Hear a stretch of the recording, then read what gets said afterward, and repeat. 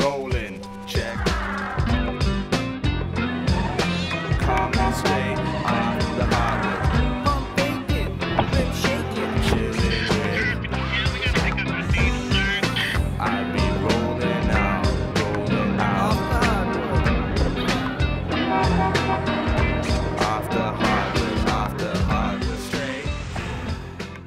Coming up on Off the Hardwood, Paul Jones talks to Raptor centers Hakeem the Dream Olajuwon and Mamadou N'diaye about growing up in Africa, playing soccer instead of basketball, coming to America, and being teammates on the Raptors.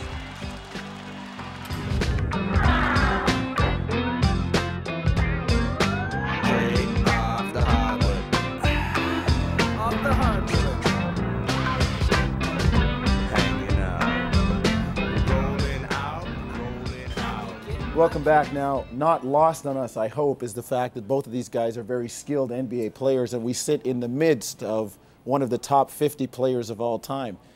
Dream, you've come to Toronto, and, and how hard was it to leave Houston after all those years, college and pro, and bringing two championships to that city?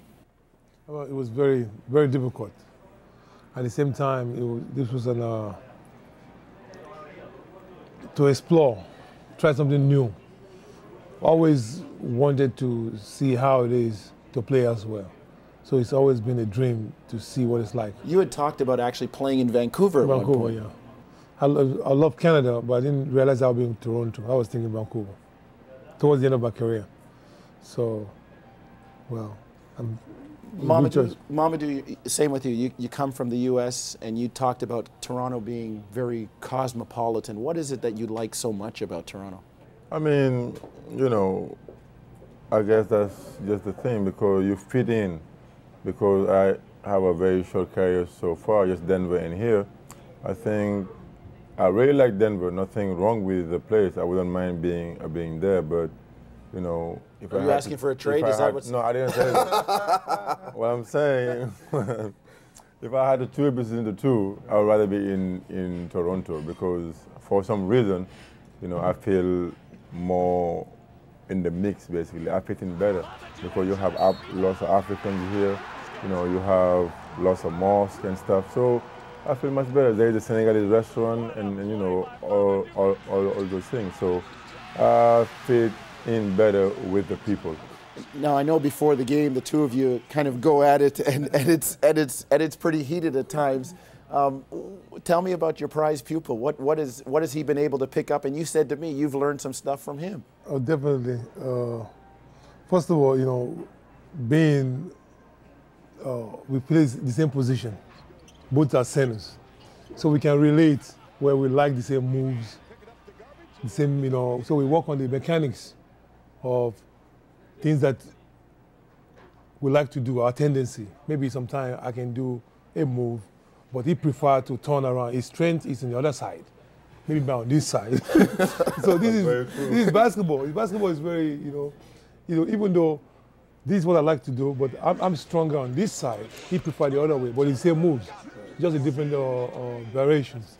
So we discuss those kind of issues, and it's always been a dream of mine, what it's like to be on a team with another Muslim, because in Islam that we do a lot of things where it, it, together.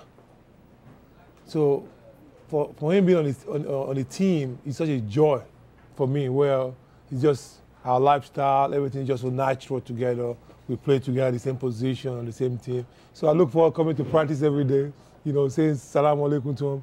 So it make my, this last, this part of my uh, career so much fun, so much joy. So we discuss everything, basketball, life, everything, you know, so it's also natural. Yeah, that's that's great. Um, with uh, Mamadou, you're going to say something. And that's why I told you like the basketball part is not why I'm so happy because, you know, as a Muslim, you know, I mean, I see somebody that I can kind of relate to, somebody I can, you know, look up to kind of, you know, and see the way he acts on and off the floor and try to see that it's not impossible to do, you know, just have to do the commitment. And it's always good to have somebody, you know, that knows about the religion. So if you do something wrong, he will correct you. And if you want to do something, you can discuss it and he can, you know, tell you what you what you should do, what you shouldn't do, because you know I, at this point I feel that he knows way more than than I do, even though he don't want to recognize it. You know, so you always you know, so you always have somebody who's like a big brother to you. You know, so always like, you know, if you do this or do that, and just by looking at him, you know how committed he is, you know, in the religion and in the basketball court. You know, so I'm kind of very lucky, and I can be a winner in in both in the religion and in, in in basketball. He's a Muslim, I'm a Muslim. He's a center, and I'm a center. So you know, I can learn in in both of them. Well, it seems like you guys got a, a good little friendship going on here. Dream, coming to Toronto, compare Toronto to Houston in terms of we talk we always talk about the closeness to a championship. What similarities do you see? I mean, you accomplished so much in Houston, and you're, you're you know you've said you're at the kind of the, the end part of your career here, but still hoping to accomplish some things. What do you see similarities between Toronto and Houston, the teams and where they might be and where they Toronto might be headed? Oh, oh very, very similar. Uh, the, our championship year, the first our championship, uh, the city, the media, their predictions, none of them pick us to win. But when you look at the talent on that team, that we have all the, the talents on each, each position. The team is very tough. But it's about just commitment, believing that you can do it, and step up to do, you know, and you know, doing it. When you look at this team, there's tremendous talent in Toronto's team.